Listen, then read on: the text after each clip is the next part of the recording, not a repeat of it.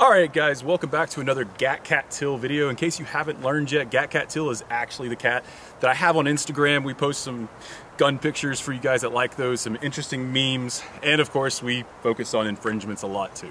So go and check out the Instagram over at Gat Cat Till, and stay tuned for more FRT content as we're seeing what makes this trigger work, what makes the trigger fail, and there is a failure point, but we're gonna cover that in a different video. So today, what we're gonna try and answer is one of the questions that a lot of you guys have, a question that the ATF is undoubtedly asking themselves right now. What qualifies a trigger movement with the finger, whether voluntary or involuntary? What design specifications match the qualification to call it a machine gun by the ATF standards, or NFA, however you want to look at it.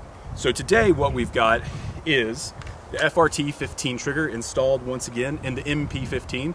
Yes, this cheap old build can actually run the FRT in its massively fast shooting capacity. We went ahead and put the H2 buffer tube. That was the Preem buffer tube for what I've seen as of now for our results. But also we have a special guest. We have a full auto registered M16 lower that we're gonna be doing a couple things for. First, we're going to be taking a high speed recording of the trigger movements that happen with the FRT. Then we're gonna compare the high speed to the full auto then we're gonna overlay the two and look at rate of fire and see just how close we can get to each other. So with that being said, let's get started. So we're not shooting anything fancy. Ammo is precious right now, and anytime someone does a mag dump on YouTube, a bunch of rookie gun owners that came in late COVID or post-election are crying saying you're wasting about $1,000 in ammo. So guys, this is some Brown Bear lacquered 223, a little bit low pressure, doesn't quite cycle as fast as our 556 does that we've tested, which Hornady 556 does fantastic in this gun. So we're gonna go for it and we're gonna see how we do. Well, bolt open, that's fine. Gun's on safe, going hot.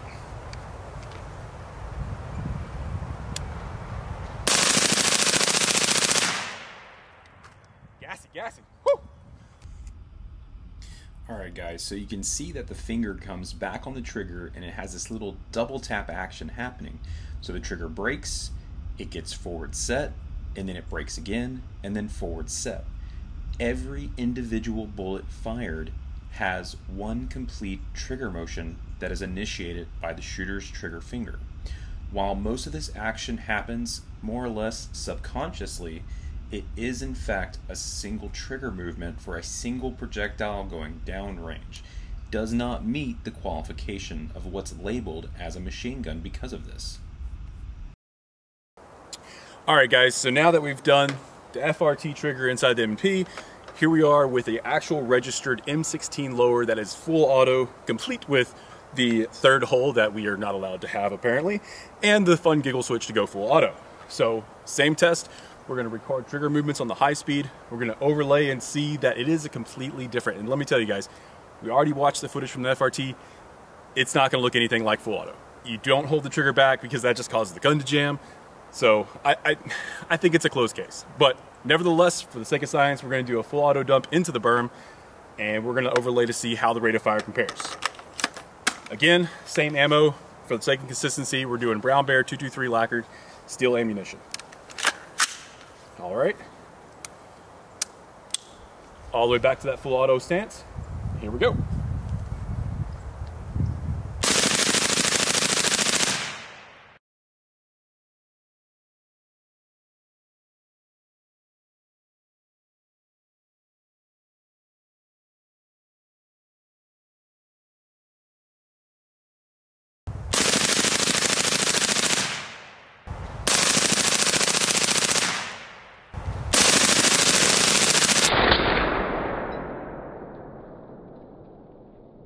All right, guys, so the comparison at first looks pretty interesting.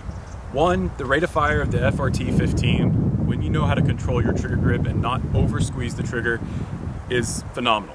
In comparison to the full auto, I think the FRT is gonna have a slight advantage, which is really crazy. Now, bear in mind the weight difference for the buffer tubes, the H2 versus an extremely heavy full-size rifle buffer that probably weighs closer to five ounces it makes a little bit of difference. The lighter the buffer, the faster the cyclic rate is going to happen inside of your uh, lower, whether it's a full auto or in this case an FRT-15. But guys, the footage that we see when you look at the actual trigger movement, you can physically watch the trigger go back and forth, back and forth and rock just like advertised by Rare Breed Triggers or Rare Breed, whatever they're going by right now. You actually try to go to buy one of these things, fun fact, Big Daddy Unlimited actually pulled them from the shelves and Rare Breed Triggers has pulled them from the shelves. Again, we have suspicion the reason for this is simply because there is a design flaw that's being addressed. At least that's what the Gen 1 owners are hoping.